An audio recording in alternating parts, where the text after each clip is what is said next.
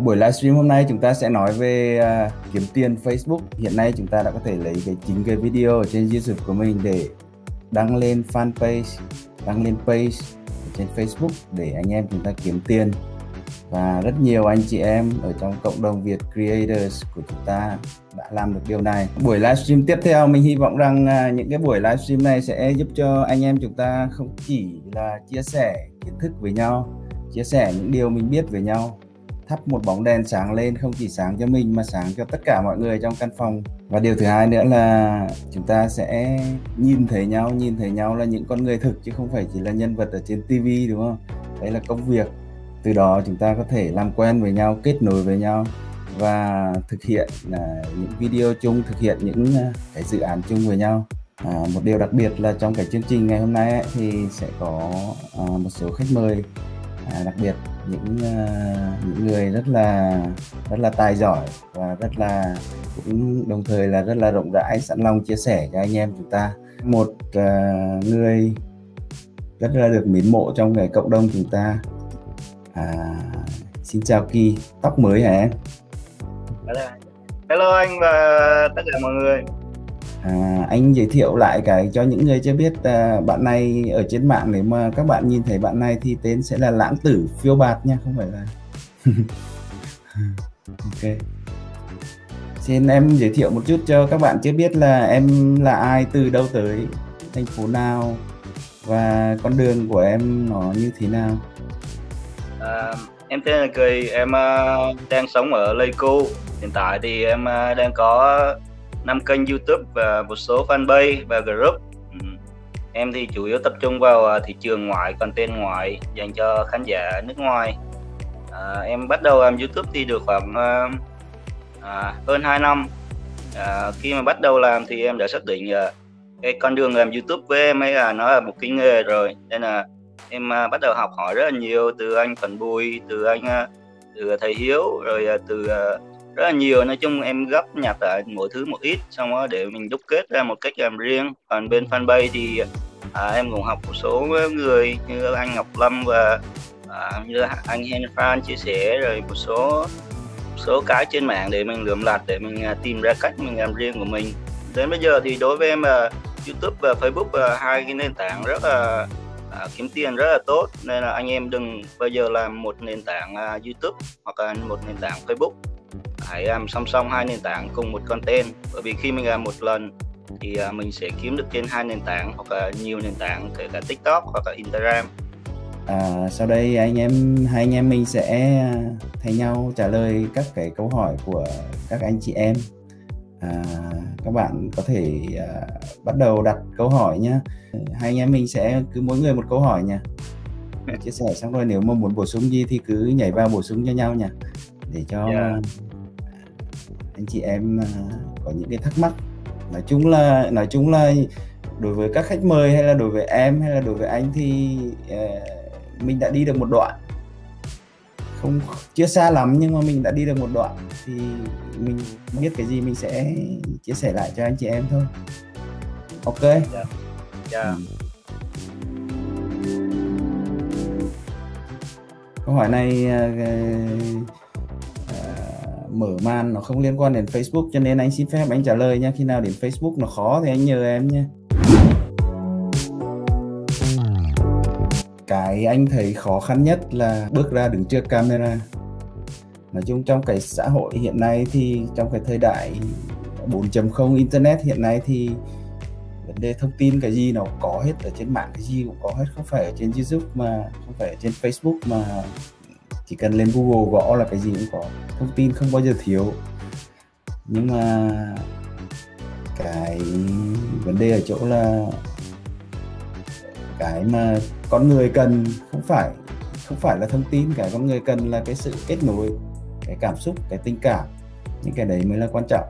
Thì thì bạn có à, vượt qua được cái sự sợ hãi của bản thân mình vượt qua được những cái à, à những cái những cái rào cản mà hầu hết những cái rào cản đấy là do trong đầu mình tưởng tượng ra. À, chiến thắng được cái tôi để bước ra để kết nối. Cái quan trọng nhất là kết nối một cộng đồng khán giả của mình. Đấy là điều quan trọng nhất. À, mình trở thành không phải là người giỏi nhất trong cộng đồng đấy nhưng mà mình trở thành một cái à, người à, phục sự kết nối tất cả những cái à, khán giả của mình. Xong rồi mình truyền tải cái cảm xúc mình đẩy cái cảm xúc của người ta lên thì thì thì mình sẽ thành công được. Thì đấy là điều khó khăn nhất. Dám bước ra được trước camera. Còn đối với bạn Long Nguyễn này mà đã đặt cái câu hỏi này mình anh nghĩ là à, chắc bạn cũng đã bước ra trước camera rồi thì à, em hãy tự tin lên là em đã làm được 90% con đường rồi còn 10% còn lại. Cứ đi đi sẽ có người trong cộng đồng Việt Creator của chúng ta sẽ có người chỉ cho em à, câu hỏi tiếp theo của Kỳ nha. Anh ơi video post lên fanpage. Bây giờ thì cứ đăng đường link hay up hẳn video ạ. À. em làm từ số 0 um, tức là nếu như YouTube và fanpage thì à, hai nền tảng khác nhau. Nếu bạn muốn kiếm tiền từ à, fanpage thì bạn phải à, đăng tải nội dung content lên fanpage. Bạn có thể sử dụng content từ nội dung từ YouTube và đăng qua fanpage. À, còn nếu bạn đăng link của YouTube qua fanpage thì sẽ bị À, fanpage Facebook sẽ bóp tương tác bởi vì à, fanpage không muốn hoặc là YouTube cũng không muốn khán giả của mình đến một cái nền tảng mới. Vì vậy phải bắt đầu ở từ số 0 và đăng lại video à, từ YouTube qua Facebook và không mình hạn chế share link của YouTube qua Facebook bởi vì nó sẽ bóp tương tác. Và sau đây mình xin mời anh em gặp gỡ với bạn Mạnh ở trên uh, thế giới YouTube của chúng ta chắc là nhiều người nghe nói đến Mạnh rồi. À, cái tên Mạnh Bonsai rất là nổi tiếng. À, một trong những người đi đầu tiên làm content của YouTube Việt Nam. Chào Mạnh. Vâng, em chào à, anh à, Harry và chào tất cả các anh em ở ờ, trong nhóm. Giới thiệu với cả tất cả mọi người ở trong nhóm ờ, mình thì mình tên là mạnh và quê mình thì mình ở hà nội và mình ở khu vực gia lâm, hà nội ấy. Thì thực ra mình ờ, mình biết đến cái con đường kiếm tiền online nói chung và đặc biệt là trên youtube. Từ cách đây năm nay là bước sang năm thứ năm rồi, bắt đầu từ cuối năm 2016 có một cái bài anh Henry nói rằng là cái cơ hội kiếm tiền trên ờ, fanpage thì thực ra là cái việc mà đấy, kiếm tiền trên fanpage là em cũng biết rồi. Em cũng biết được là là là kiếm tiền được tức là tức là Facebook nó cho kiếm tiền, nhưng mình cũng chưa biết cách là kiếm tiền như thế nào. Thế từ hôm mà anh Harry nói ấy, tức là gần như là đấy. Thầy Hiếu là người chỉ cho em về YouTube thì anh Henry là người chỉ cho em về Facebook, tức là hai ông này coi như là hai người thầy, một người tay trái, một người tay phải. Vừa rồi là chia sẻ của của anh Mạnh Bonsai ha. À, một uh, một nhân vật cũng khá là nhiều người biết ở trong thế giới YouTube. Câu hỏi tiếp theo anh ơi nhạc miễn phí ở thư viện YouTube đăng lên fanpage có bị bản quyền ở fanpage không? À, kinh nghiệm cá nhân của mình thì chưa bị bao giờ nhưng mà nói chung là nên cẩn thận tại vì YouTube đã nói rõ là uh, nhạc của thư viện YouTube là chỉ được dùng ở trong YouTube thôi. Ví dụ như ví dụ như một bài nhạc nhạc này chẳng hạn thì mình có thể xem tên của cái nghệ sĩ này bài hát này voices này. Mình xem tên của cái nghệ sĩ này mình click vào cái link này sang cái trang gọi là cái kênh của nghệ sĩ này đúng không? Xong rồi thông thường ấy cái những cái bài hát đấy ấy bài hát này là gì đây? Voices tiêu đề bản nhạc ấy thường là mình tìm ở trong cái kênh của người nghệ sĩ này sẽ có bài hát tên bài hát đấy. Bạn này thì không có chắc kênh mới lập. Nhưng mà thường là sẽ có xong rồi trong đó ở trong video này mình sẽ vào mình xem có phải là à, giấy phép Creative Commons không? Đấy, thường là giấy phép Creative Commons này nếu mà các bạn này ghi đầy đủ ấy, thì các bạn sẽ ghi là cho mình phép sử dụng ở trên các nền tảng khác nữa thì như thế thì mới chắc chắn 100% là được dùng. Còn lại là tóm lại là nên là không nên nên là mình edit lại cái phần âm nhạc này để cho cho chuẩn. Còn nếu mà các bạn muốn chắc cú nữa ấy, thì à, thì mua thì mua nhạc. Mua nhạc ở trên uh, Epidemic Sound hoặc là Atlas.io để uh, để mình uh, đưa vào một video của mình là khỏi cần phải edit lại khỏi cần phải render lại. Thì up lên tất cả các nền tảng luôn. Một video up cả Facebook và YouTube. Có sợ bị Facebook hoặc YouTube phát hiện là ăn hai mang họ bóp không đề xuất video không anh Henry? Thì giống như nó cũng tương tự như câu trước thôi mình đã trả lời uh, YouTube và Facebook là hai nền tảng khác nhau. Và uh, khi bạn up ở YouTube thì uh, nó ở YouTube sẽ có quyền ở trên YouTube còn bên fanpage thì sẽ có quyền trên fanpage. Nếu uh, YouTube và fanpage đều muốn là nhà sáng tạo về với mình và giống là những sáng tạo tốt nội dung tốt thì uh, để có được uh, thu hút được nhiều khán giả và nhiều người dùng hơn nên là uh, sẽ sẽ không không bị bóp uh, không bị cho ăn hai mang hoặc là bóp đề xuất với cái hình thức mà mình đăng trên cả YouTube và fanpage. Trừ khi mình share link mình share link của thằng YouTube qua fanpage thì nó sẽ bóp. Hoặc là share link của Facebook qua YouTube thì nó sẽ bóp. Còn đăng thì không không ạ ok. Câu hỏi tiếp theo, video bị sám tiền thì làm thế nào để khắc phục vậy ạ? Cái này khó nha. Theo kinh nghiệm của anh thấy là sám tiền đấy sau khi bật kiếm tiền đấy thì uh, vẫn có những hiện tượng những cái kênh mà mặc dù là trạng thái của kênh là à, quên của page trạng thái của page là đã phê duyệt bật kiếm tiền nhưng mà đăng lên nó vẫn sáng bình thường. Này là bạn nào nhỉ? Họ uh, Ocean Vlog và đã cảm nhận rất rõ mấy tháng trời. À, và kể cả à, mạnh bonsai cũng thế. Mặc dù là đã phê duyệt rồi nhưng mà nó vẫn sáng bình thường. Thì à, không không không xanh được. Ờ, đấy thì kinh nghiệm của anh cho thấy là à, khi mà video của mình cái view nó nhiều dần lên cái tốc độ lên view nó cao ấy tốc độ lên view cao ấy à, lúc mình mới đăng video cái tốc độ lên view nó cao ấy thì nó sẽ xanh nó sẽ xanh được và sau đó nó sẽ xanh đều dần lên hơn. Khi có bổ sung gì không em? À, cái này thì anh em lưu ý nếu mà Ờ, khi fanpage mà nó bị sám tiền hoặc là vàng tiền hoặc là bị fanpage auto sám tiền hoặc là vàng tiền ấy thì nó rất là khó để xử lý trừ khi chờ chờ Facebook update. Còn một cái lưu ý là khi mà fanpage mới bật kiếm tiền thì à, anh em nên à, cố gắng đẩy à, fanpage đó để xanh tiền trong vòng uh, 2 tuần. Thì để cho fanpage sẽ auto xanh tiền khi mà đăng lên xanh tiền rất là nhanh. Thì cái độ chết rất là cao. Còn nếu mà anh em không không à, không à, làm cho fanpage xanh tiền thì à, hoặc là gặp hay gặp trường hợp là sán tiền và vàng tiền thì à, sẽ có một số bay sẽ bị dính trường hợp là auto vàng và auto sám tiền. À, nên là anh em phải lưu ý khi mà bật kiếm tiền phải làm mọi cách để cho nó xanh tiền. Có một số thủ thuật để mình à, áp dụng. À, à, dạ.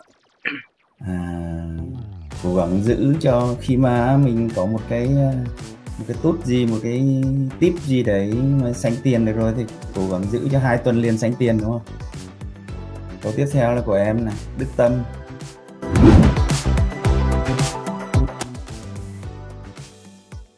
một người cũng khá là khá là nhiều người biết đến trong cộng đồng của chúng ta.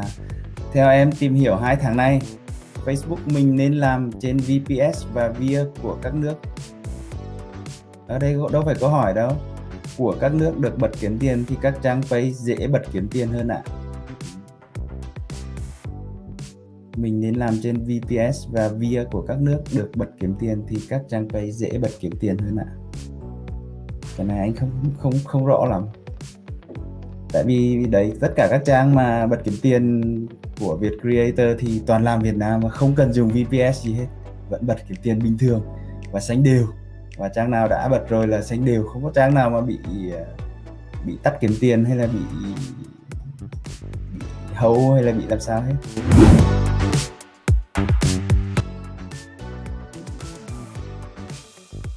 Câu hỏi khó đến lượt anh phải không ta?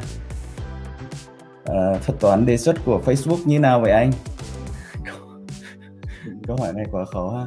Nói chung là à, thuật toán của Facebook bây giờ nó mặc dù là ở trong cái creator studio của Facebook nó có nhiều ờ, nó cũng cả khó, có khá là nhiều thông tin rồi nhưng mà nó nó đang hơi rối, nó đang không, chưa được ờ, chưa được cụ thể và rõ ràng và Facebook nó cũng không có cái ờ, chưa có cái chính sách để phổ biến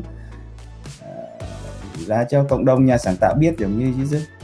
Thì nhưng mà cái mà mình thấy rõ nhất đấy là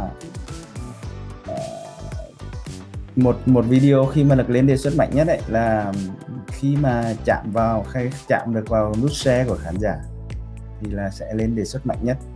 Ở trên YouTube nó không như vậy. Nhiều lúc nhiều lúc tỷ lệ share thấp nhưng mà nhưng mà các cái tỷ lệ khác, cả nó cao ấy thì nó vẫn lên đề xuất bình thường. Nhưng mà ở trên Facebook thì anh nhận thấy một cái à, đặc điểm rõ rệt nhất là nếu mà khi mà, một khi mà đã chạm được nút share là là bạn hãy chuẩn bị tinh thần vì không chỉ video đó mà cả cái page của bạn là sẽ sẽ lên rất mạnh lên mạnh hơn YouTube rất nhiều và nói chung là có thể là cuộc đời thay đổi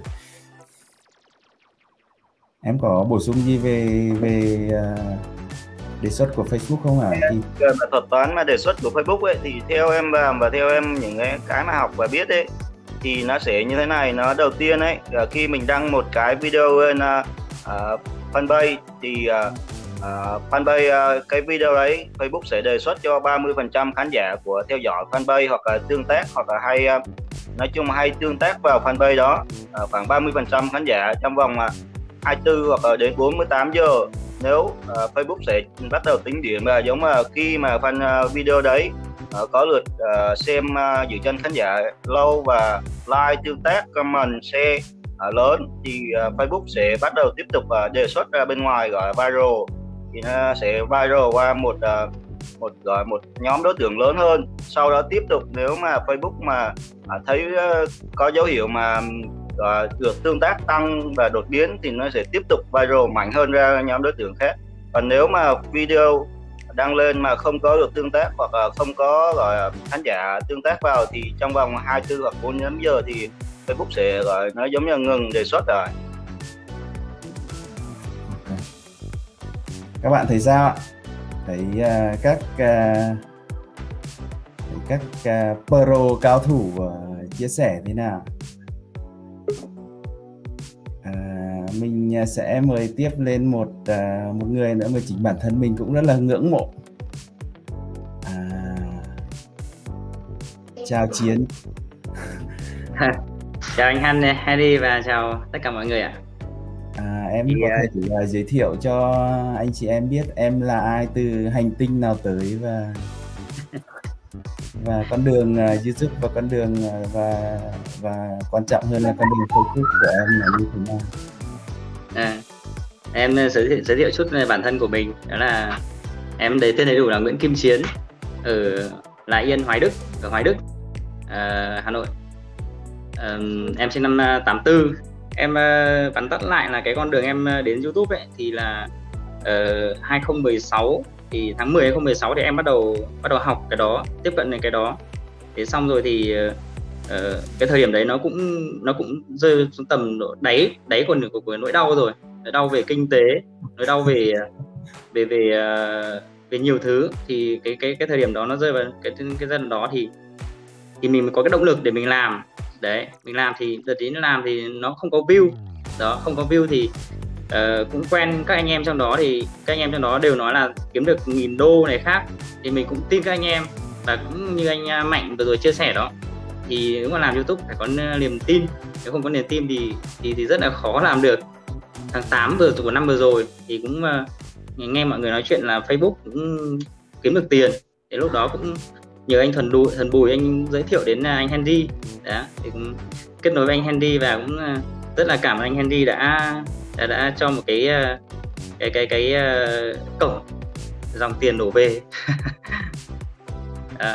thì mình cũng làm trên YouTube xong là cũng cái sản phẩm đó thì mình cũng tạo một cái page và nó lên Facebook thì anh anh anh Henry đã kết nối được cái cổng đó và cũng cái quá trình kết nối đấy cũng thấy là hai anh em rất là rất là chăn trở. Tức là có những cái giai đoạn mà họ giữ là họ thông báo là bị hâu tiền rồi. Đấy nhưng mà anh ờ, Henry cũng rất là là, là nỗ lực và tìm hiểu đã tìm được cái cổng để mà mà mà kết nối được với trực tiếp họ.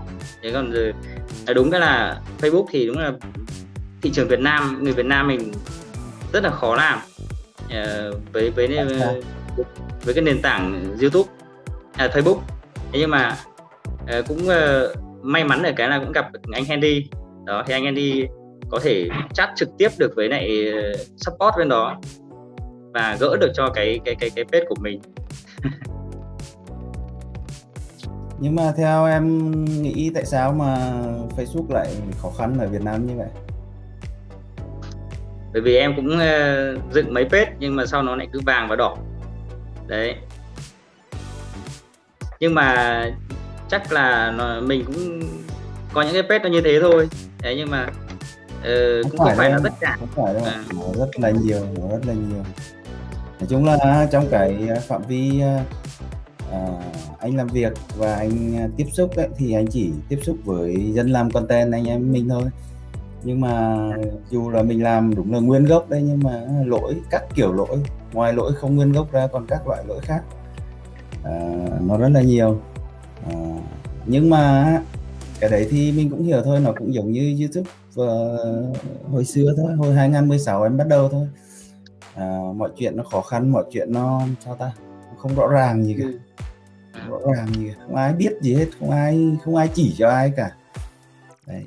À, mà dân content thì thì luôn luôn là yếu luôn luôn là dạt một bên một lề đường. Cái kỳ của mình đâu mình đâu có khi mạnh đâu người ta khi mạnh như thế thì uh, từ khóa mạnh như thế thì một phát là lên chứ mình thì lần mò từng tí một đúng không? nhưng mà tuy nhiên là qua cái cộng đồng mà anh em mình cùng gây dựng qua những cái buổi chia sẻ như này thì chúng ta nhìn thấy nhau chúng ta hiểu nhau chúng ta thấy là khó khăn đấy không phải chỉ của riêng mình. Ừ. Thì mình hy vọng là à, là à, đồng loạt anh em mình có thể gọi là tự tin và niềm tin để up video của mình lên trên fanpage có khó khăn đấy nhiều khó khăn đấy. Nó khó khăn như thời giai, giai đoạn đầu của của 2016 của chiến. Nhưng mà nếu mà mình không không làm thì làm sao có cái nút vàng ở đằng sau lưng kia đúng không? Đấy và mình cũng hy vọng là nếu mà cái số lượng đấy nó nhiều lên nhiều dần lên đấy thì cái chính sách của Facebook nó sẽ càng ngày càng minh bạch hơn cái việc công việc của chúng ta càng ngày càng dễ dàng hơn toàn những nút vàng của YouTube đã chia sẻ cho chúng ta thấy à, hành trình của người ta ở trên YouTube cũng như là à, cái con đường mới Facebook.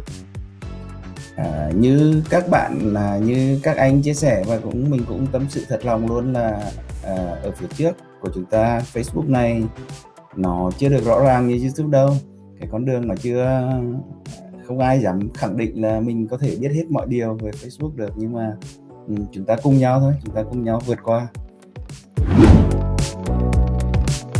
Anh ơi em đang em đăng video lên mà Facebook bị lỗi không quảng cáo được. Vậy làm sao đây anh? À cái này thì à, giống như một số bay sẽ bị lỗi gọi là hạn chế quảng cáo anh. Cái này thì giống như là nó có thể cũng là một lỗi của thằng Facebook nó chưa hoàn chỉnh nên là có một số bay sẽ bị uh, hạn chế quảng cáo. Uh, nếu mà mình có thể kháng ở trong tài khoản quảng cáo hoặc là uh, một số gọi là dùng uh, dịch vụ hoặc là một số người ấy, thì người ta có thể kháng được bằng cách đấy còn có một số nó sẽ lỗi của Facebook không hoàn chỉnh nên là mình không kháng được. Mình nói chung ra vấn đề nó cũng giống như anh em mình làm content youtube thôi thực ra vấn đề quảng cáo không quan trọng lắm. Nếu mà thực sự uh, nội dung của bạn ok quan trọng nhất là nội dung của bạn tốt và thứ hai nữa là bạn nắm rõ các cái uh, cách để uh, sell cho youtube uh, sell cho facebook thì thì trước sau gì cũng lên trước sau gì cũng lên đúng không?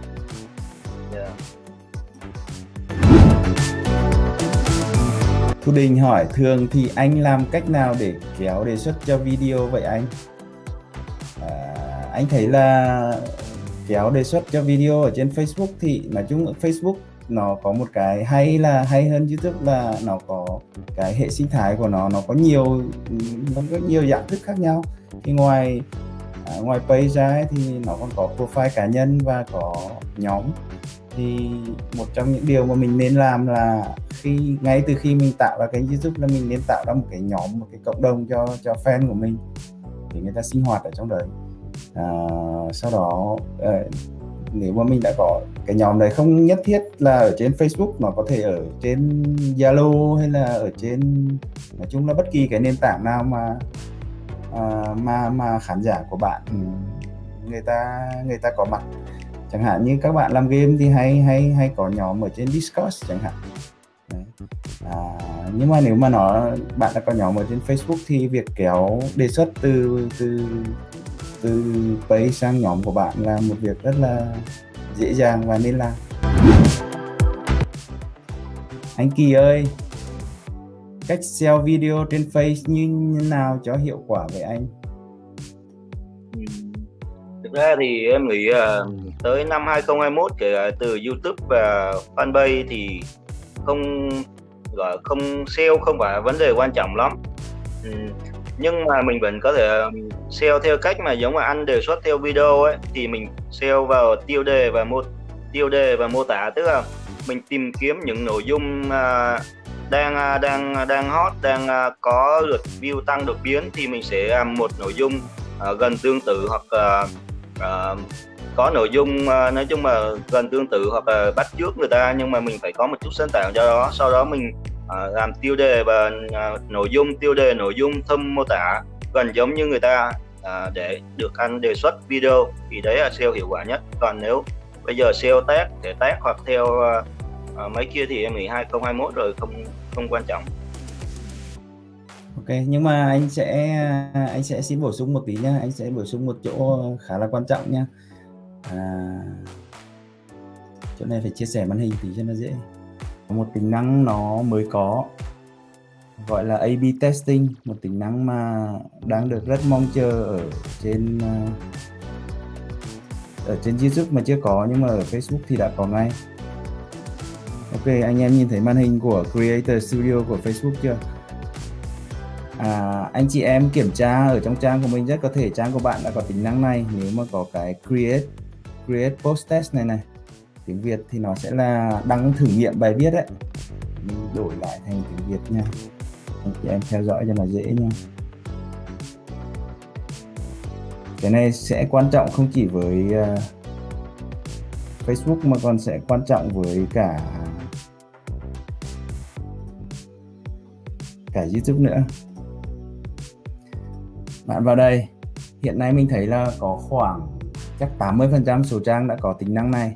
Tạo thử nghiệm bài viết. À, thị phạm luôn nha. À, ở đây. Tức là sơ bộ là cái tính năng này là mỗi khi mình đăng một video lên ấy mình sẽ được phép thử nghiệm. Nhiều tiêu đề khác nhau nhiều mô tả khác nhau nhiều hình thu nhỏ khác nhau. Tất cả các yếu tố của video bạn đều có thể gọi là thử nghiệm theo nhiều cách khác nhau để cho thuật toán chọn ra à, cái tiêu đề nào cái mô tả nào mà được nhiều view nhất thì sau khoảng thời gian thử nghiệm thì nó sẽ chọn cái tiêu đề đấy cho bạn. Thay vì là ngày xưa anh em mình SEO theo cái kiểu là phải khảo sát từ khóa rồi bám trend rồi các kiểu đúng không? Nó rất là nó rất là thủ công rất là khó. Thì cái này máy tính thuật toán tự làm cho mình tự so sánh không cần phải đoán gì hết chẳng hạn như thử nghiệm này mình thử nghiệm là à, đặt tên thử nghiệm. Đặt tên gì cũng được. À, mình có thể đặt tên là thử tiêu đề.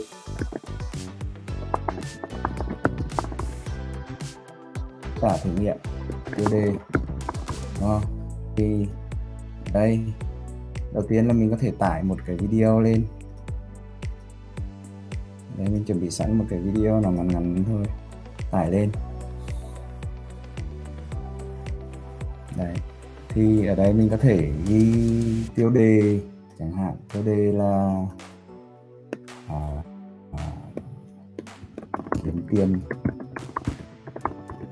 Facebook. Khó không? Chẳng hạn như thế. Một mô tả gì đấy? Các cái chi tiết của video bạn làm ở trong dòng này. Xong mình bấm cái sao chép này là nó sẽ ra một phiên bản thứ hai cho mình. À, ở đây mình có thể thử một cái tiêu đề khác là à, Facebook có hay dễ chẳng hạn. Bạn có thể thử nghiệm với tiêu đề khác nhau hoặc thử nghiệm với mô tả khác nhau cũng được. Hay là đấy có thể thêm một phiên bản khác. Bao nhiêu phiên bản tùy ý bạn chọn. Sau đó mình có thể chọn cái số liệu để mình so sánh. Là lượt xem video tối thiểu một phút à, hoặc là bình luận. Số lượt bình luận nhiều nhất tùy theo cái uh, mục đích của cái video của mình. Mình lấy tương tác của khán giả thì mình lấy bình luận. Hoặc là mình lấy lượt chia sẻ. Hoặc là cái mà mặc định ở đây là lượt xem video tối thiểu một phút này. Tại vì là trên một phút thì bắt đầu mới hiện quảng cáo mà. Ờ, hoặc là số cảm xúc này số người tiếp cận được này tùy mình. Rồi khoảng thời gian thử nghiệm là có thể là 10 phút hoặc là 30 phút hoặc là một tiếng hoặc là 3 tiếng tùy mình chọn. À, mặc định là 30 phút thôi nhưng mà nói chung là tốc độ lên view của của Facebook nó rất là nhanh cho nên thường là chỉ dưới một tiếng thôi là uh, Facebook có thể chọn ra được cho bạn là cái tiêu đề tối ưu nhất rồi cái mô tả tối ưu nhất rồi hình thu nhỏ thì bạn cũng có thể up lên ở đây. Đây click vào cái này. Là có thể up hình thu nhỏ lên bình thường. Yeah. bạn có thể có nhiều hình thu nhỏ khác nhau. Đấy thì cái cách làm ấy của của chúng ta của nhiều bạn hiện tại ấy, là anh chị em thấy rõ chưa ạ? Thấy rõ mình làm chưa ạ? Cách làm của chúng ta hiện tại ấy là thường là mình sẽ up lên Facebook trước một phần là để tránh cái lỗi không nguyên gốc góp phần để tránh bị lỗi không nguyên gốc. Tại vì là mình up lên đầu tiên ở trên Facebook mà thì bớt đi. Không phải là sẽ bớt hoàn toàn nhưng mà sẽ bớt mình còn phải làm theo kèm theo các động tác khác nữa. Thì đấy là một trong các yếu tố. Nhưng mà ngoài cái chuyện tránh lỗi không nguyên gốc ra ấy, thì khi dùng cái tính năng A/B testing này ấy, thì mình sẽ ngay lập tức chọn ra được cái tiêu đề tối ưu. Đấy, thay vì các bạn phải đi nghiên cứu từ khóa các kiểu chọn được cái tiêu đề tối ưu chọn được cái hình đại diện tối ưu nhất cho video của mình sau đó mình đã chọn ra được cái tối ưu rồi thì mình bê cái đó ra đặt sang youtube nữa thì thường ấy là sẽ đúng. Cái hành vi của khán giả rất là giống nhau. Ngày xưa có nhiều người nhiều người làm theo kiểu khi mà chưa có cái A/B testing này của Facebook ấy, người ta phải làm theo kiểu là A/B testing bằng quảng cáo Facebook người ta bưng cái video của người ta lên để người ta up lên dùng quảng cáo của Facebook để, tại vì cái trong quảng cáo của Facebook có, hoặc quảng cáo của Google Ads có A/B testing rất là dễ. Mình có thể tải nhiều phiên bản, gọi là mỗi một phiên bản là coi như là một cái quảng cáo thôi. Sau đó thì người ta xem tỷ lệ nhấp chuột rồi mới bưng xuống để để đưa lên YouTube. Được chưa? Tại vì thường là người ta làm cái động tác đấy ở trên Facebook, tại vì không thể làm trên Google Ads được. Tại vì nếu muốn muốn chạy ở trên Google Ads là phải up video lên YouTube trước. Up video lên YouTube thì lại lộ. Khán giả lại nhìn thấy trước mất đấy, nó hơi bị bất tiện. Đấy là tối ưu hóa của Facebook. Anh Henry ơi, làm nội dung news news tức là tin tức nha. Có bật kiếm tiền trên fanpage không ạ? Tùy theo cách làm của bạn thôi. Nếu mà nếu mà bạn làm uh,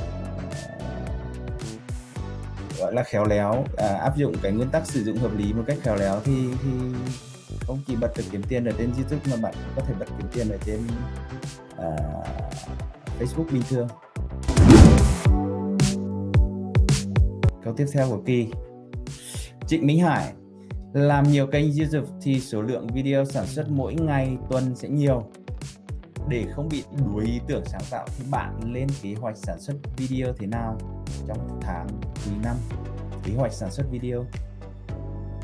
À, ngày xưa ấy, thì khi có một mình em ấy, thì em à, có hai kênh youtube thì em sẽ làm à, à tự mình làm hết. Nhưng bây giờ khi mà em phát triển ra rồi thì em sẽ có thêm à, đồng đội có thêm nhân viên và em sẽ phân công việc làm. À, giống như là bây giờ hiện tại em đang có 5 kênh youtube và fanpage. Thì à, mỗi kênh youtube của em thì hai ngày em sẽ đăng một video. À, có hai hai đến ba kênh thì em sẽ người trực tiếp sáng tạo nội dung và làm nội dung. Còn hai kênh còn lại thì sẽ nhân viên của em là à, làm à, sáng tạo tự sáng tạo nội dung tự quay tự ấy còn nội dung của em hiện tại. Thì em tập trung vào nghĩ ý tưởng content và quay thì ờ, còn lại thì uh, các bạn khác thì sẽ edit cho em. Edit chỉnh sửa video còn phần khác. Uh, còn về fanpage thì em sẽ uh, giao lại và cách làm của em rồi đưa lại cho những bạn đó làm đăng video up rồi uh, like comment rồi tương tác với khán giả. Nói chung khi mình đã làm ấy rồi thì bắt đầu mình phải có thêm người mình không thể một mình ôm hết được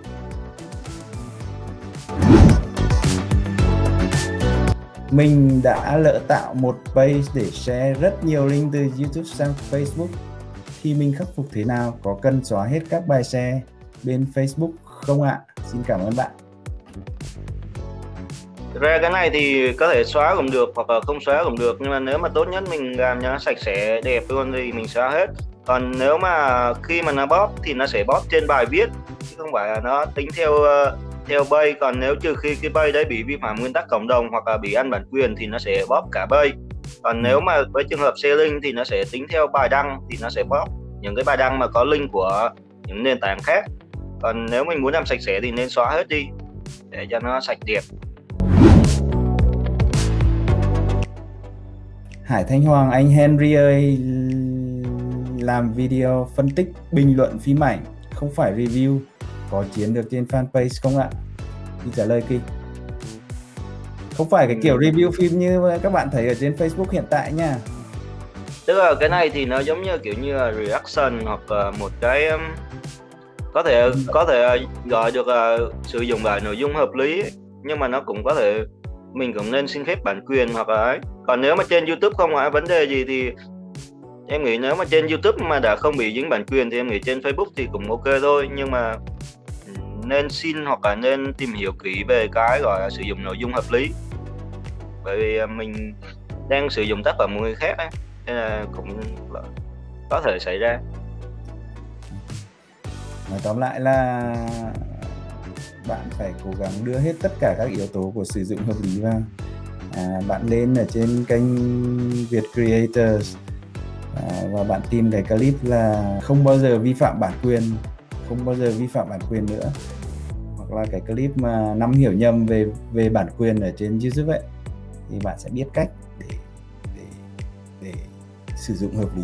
Chẳng hạn như mình thu nhỏ cái video gốc vào góc màn hình hoặc là mình chỉ clip clip cắt những đoạn ngắn thôi để mình bình luận ấy, thì nó sẽ không bị bắt. Nhưng mà phải biết rằng là mình đã sử dụng của người khác thì sẽ có chắc chắn sẽ có khả năng là bị người ta đánh gậy bản quyền.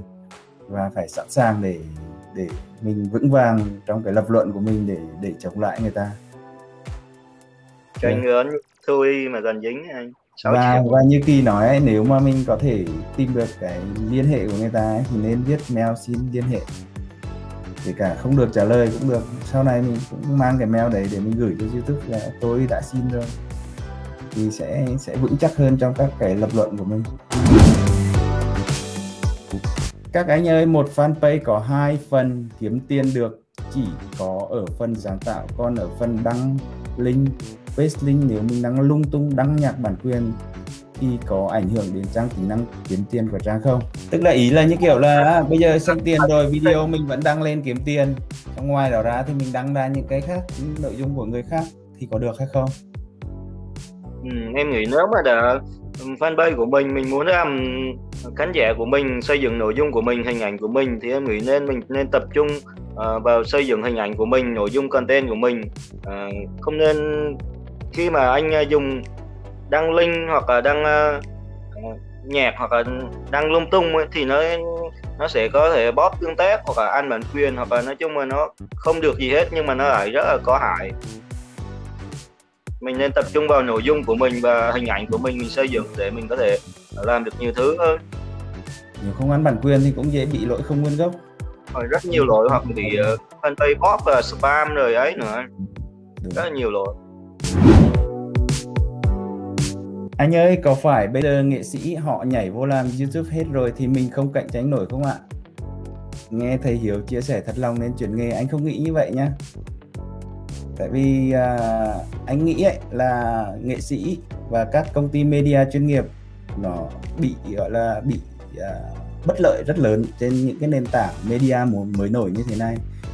À, ví dụ như anh chỉ nói một chuyện đơn giản thôi ví dụ như chẳng hạn như thuật toán nó có một cái thay đổi gì đấy chẳng hạn. Thì à, ví dụ như hoặc là có một cái chính sách gì thay đổi chẳng hạn như năm ngoái chính sách Copa áp dụng cho trẻ con chẳng hạn thì các công ty media lớn rất là lao đao tại vì để cho thay đổi chuyển hướng nội dung nó rất là khó khăn. ví dụ 500 con người chẳng hạn chuyển hướng được nội dung rất khó khăn. Trong khi một nhà sáng tạo cá nhân thì ngày hôm nay mình làm nội dung như thế này ngày mai mình có thể xoay mình làm nội dung khác được ngay. Đấy sự uh, uh, thuận lợi của mình. Đấy, cho nên là sẵn sàng. Uh, đây chính là cơ hội cho những nhà sáng tạo nhỏ những nhà sáng tạo cá nhân. À, và cái nếu mà các bạn để ý thì cái cái triết lý làm việc cái cái cái đối tượng mà mình lựa chọn phục vụ ấy chính là nhà sáng tạo cá nhân. Thì thì như anh chị em thấy đấy đấy à, một cái à, nền tảng à một cái thể loại mới chẳng hạn như điện ảnh chẳng hạn nó sẽ phát triển trong cả 100 năm mà đến bây giờ vẫn vẫn vẫn chưa hết. Thì một cái như YouTube chẳng hạn khi mình đã thấy nó đã thiết lập được cái vị thế của mình ờ, ở trong cái trong mỗi gia đình ấy, mỗi gia đình ai bây giờ nói chuyện bảo xem YouTube là ai cũng biết. Nó là cái gì? Giống như xem TV hay là nghe radio nó nó đã trở thành một phần của cuộc sống ấy thì nó sẽ có khả năng. Tất nhiên là tương lai không ai nói được nhưng mà nó sẽ có khả năng kéo dài được cả trăm năm mà chúng ta nhìn thấy là mới, mình mới bắt đầu kiếm tiền chưa giúp khoảng 10 năm trở lại đây thôi. Nó mới một cái đoạn rất là ban đầu non trẻ thôi. Cho nên là cái dòng chảy của nó, cái con đường của nó còn rất dài, sóng nó còn lên rất dài. Bạn có thể theo được rất dài lâu trên cái con đường này. Anh Tuấn Dương, Sài Gòn ngày nay lỗi nội dung không nguyên gốc đã ra soát xóa các nội dung linh tinh hình ảnh không phải của mình nếu có. Đăng clip mới tiếng Việt không giấu liên tục 3 tháng mà vẫn không bật được kiếm tiền. Mong các chủ tịch cho biết hướng khắc phục. Xin mời uh, à, thực ra à, cái này thì ngày xưa nó có một tút gọi là có link để kháng à, tức là mình xóa toàn bộ nội dung xong đó mình để 3 tháng xong bắt đầu mình kháng.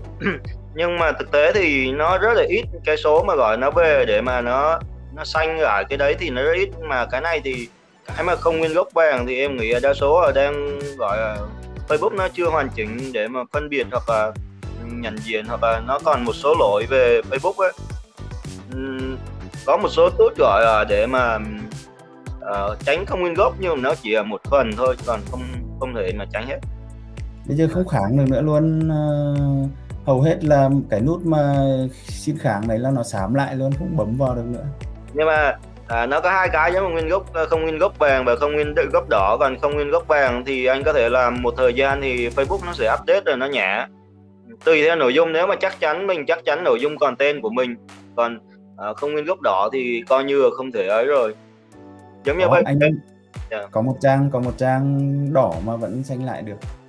Không à. phải là không phải là hết hy vọng hoàn toàn đâu tức là số xanh lại hơn. Với một số đợt nó hay nhả một số cái. Ok. À, tóm lại là đây nói chung là nó nếu mà tình trạng như này nó khá là khó khăn à, anh Tuấn Dương ạ. Cho nên là em nghĩ là anh vẫn giữ cái trang này bình thường. À, và mình làm thêm một trang mới.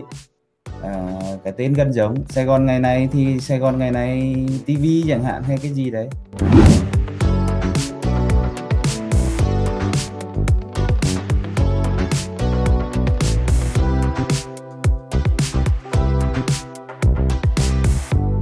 điều kiện được bật kiếm tiền là 10.000 người theo dõi trang 10.000 người like trang thì em chạy quảng cáo tăng like cho fanpage được không ạ? Có nên chạy quảng cáo cho fanpage không vậy ạ? Hai câu hỏi nha. Câu hỏi thứ nhất là em chạy quảng cáo tăng like cho fanpage được không ạ? Được, câu đấy được. Có nên chạy quảng cáo cho fanpage không ạ? Câu này thì uh, bình thường ấy ở trên YouTube thì mình bảo là làm content không nên chạy quảng cáo đâu, cứ để cho nó lên tự nhiên và rèn rèn rũa kỹ năng. Nhưng mà ở trên Facebook thì hiện tại mình thấy chạy quảng cáo đang được. Nhất là nó đang rẻ. Nhất là nó đang rẻ. À, tại vì số lượng dân làm content mà vào chạy quảng cáo thì ít mà cho nên nó rẻ. Cung cầu thôi. Cũng giống như tại sao Facebook bây giờ đang kiếm tiền dễ và nhiều tại vì đấy các bạn nhìn thấy đấy hầu hết đều là các bạn lên xem Facebook Watch toàn chủ yếu toàn re-up không à? Không thấy hiện quảng cáo đúng không? Số lượng content cực kỳ ít. Lâu lâu mới thấy một clip của anh Duy Hà Nội hiện lên mới hiện được quảng cáo.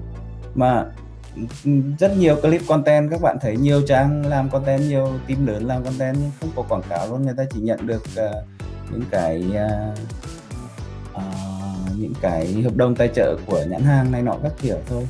Thì cũng câu cung cầu thôi thì tiền sẽ đổ về những trang làm content của mình thôi thì ở trên quảng cáo cho fanpage cũng vậy. Hiện tại anh thấy còn sau này nó có thể sẽ thay đổi. Khi mà ừ, mình nghĩ theo cái cái đa này thì chỉ một thời gian nữa thôi, thì số lượng content sẽ càng ngày càng nhiều lên và dần dần những cái re-up đồ này nọ nó sẽ mất đi.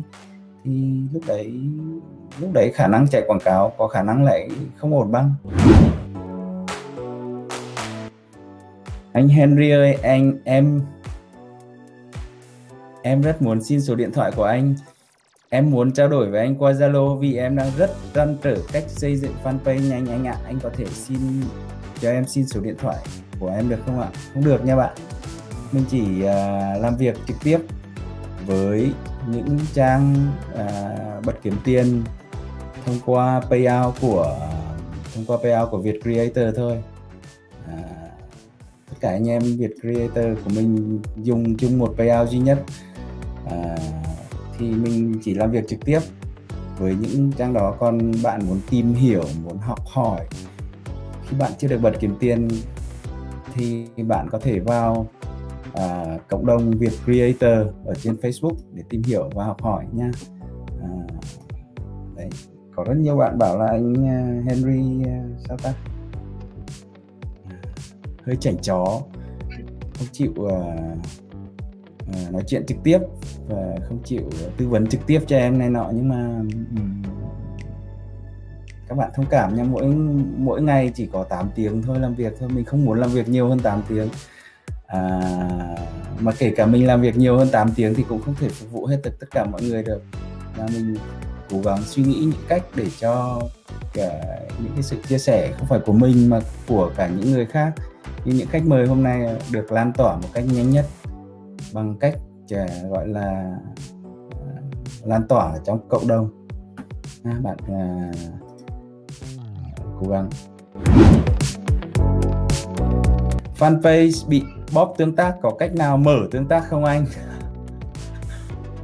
Một số page của em bị bóp bóp đăng không còn tiếp cận.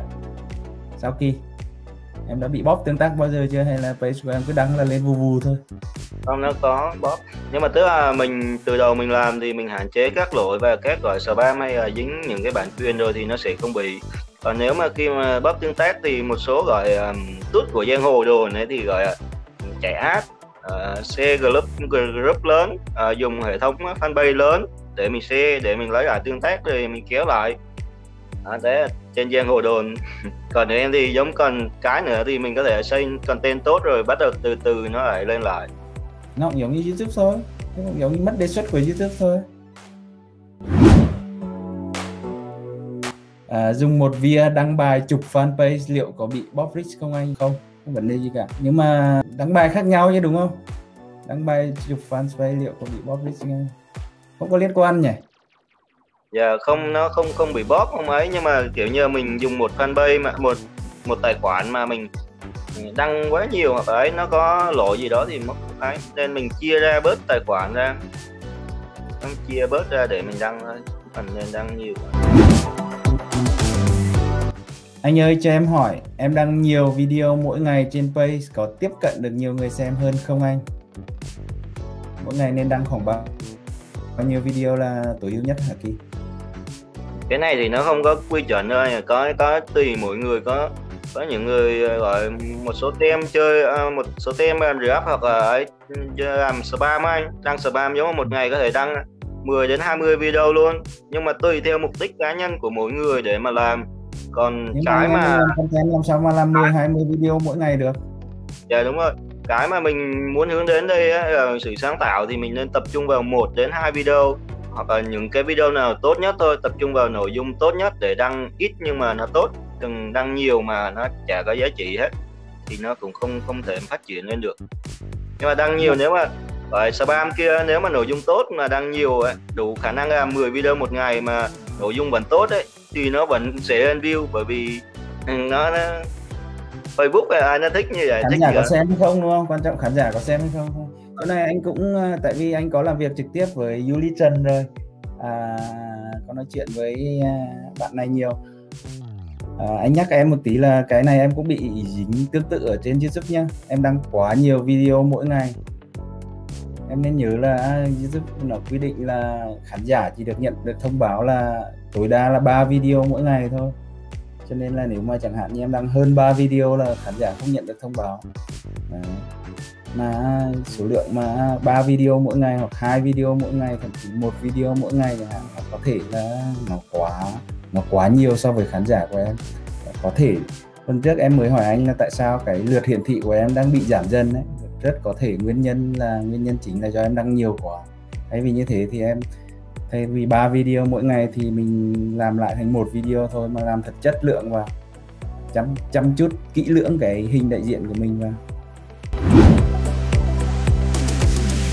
Cho em hỏi clip bây giờ một phút là bật kiếm tiền được thì mình có nên lượm lặt video dài thành clip ngắn kiểu tiktok nhưng dài hơn một phút để kiếm xem không?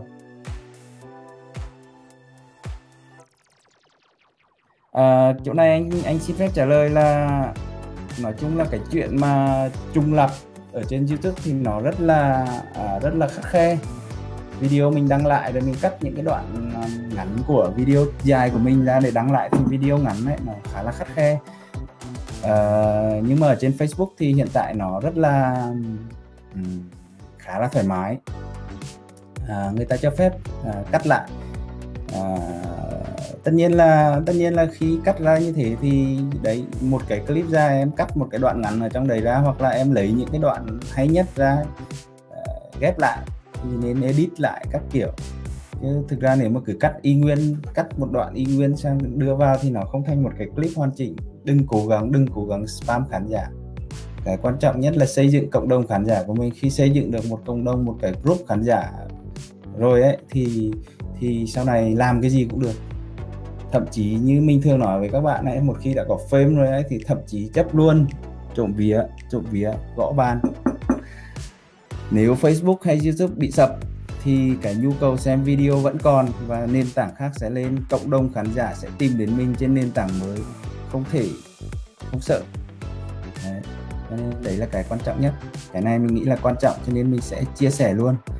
À, cực kỳ quan trọng ở trên Facebook. Nếu bạn nào muốn phát triển Facebook uh, thì sẽ thấy là cái việc cả là cái Facebook nó nó lợi hại hơn YouTube. Như thế nào, những tính năng nó đi trước YouTube rất nhiều. Mình sẽ giới thiệu với các bạn là tính năng đăng lại video ở trên Facebook. Các bạn đừng đăng lại một cách là lấy video đăng lại nha, bạn phải sử dụng đúng tính năng đăng lại ở trên Facebook. Đây, chẳng hạn như mấy ngày hôm nay các bạn đã thấy mình đăng lại một video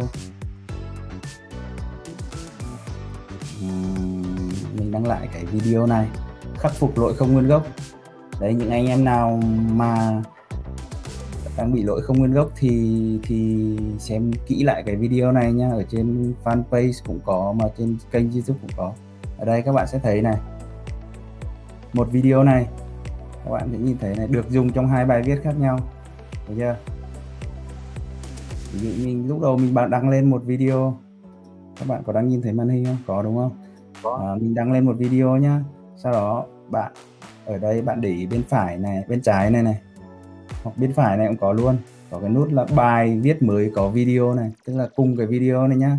Lần đăng thứ nhất này 1450 view này. Ít thôi. Lần đăng thứ hai này lần đăng thứ hai hai ngày trước này mình vừa đăng lại này. 355 view này. Thì mình hoàn toàn có thể gọi là một video đấy. Chẳng hạn như mình thường nói ví dụ chẳng hạn như Noel năm ngoái bạn có một cái video được viral triệu view chẳng hạn. Thì Noel năm nay đúng ngày đó bạn không cần làm video mới bạn chỉ cần đăng lại video đó. Video triệu view của mình mà video mình làm hay nhất mà. À, và thay caption đi một tí là được phép. Đây click vào bài viết mới có video thấy chưa? Đấy. Xong rồi bấm đăng thôi là được. Thấy chưa? Lợi hại không? Ở trên youtube đâu làm được như này. Bao nhiêu video hay của mình làm lại à, đăng lại đâu có dám. Youtube bắt chết ngay. Đúng không? Thì sau khi mình đăng nhiều lần như thế ấy, thì mỗi lần đăng ấy nó sẽ hiện một cái dòng à, uh, analytics số liệu phân tích khác nhau và nó gồm chung với một màn hình như thế này. Thấy chưa? Hai dòng được dùng trong hai bài viết này. Đấy click vào đây. Yeah. lợi hại không?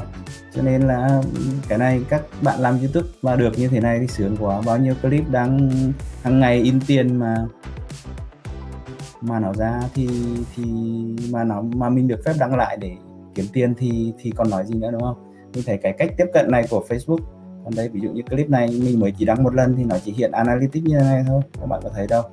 Có thấy có trong hai bài viết không? Thấy không? Thấy chưa? Xuân Vlog thấy chưa? Nha. Lâu lâu đừng có spam khán giả nhiều đăng đi đăng lại nhiều lần của làm cho người ta chán thôi.